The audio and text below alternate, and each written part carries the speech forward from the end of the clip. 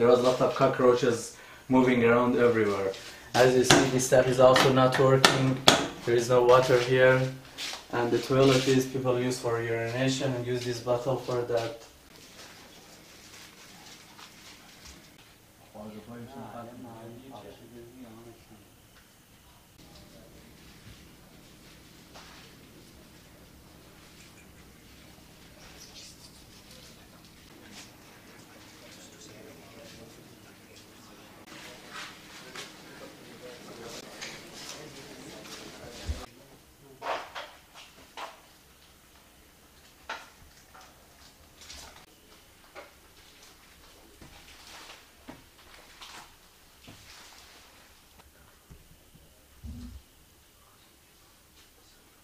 It has to be clean at least once a week. We have reported it too many times to IHMS.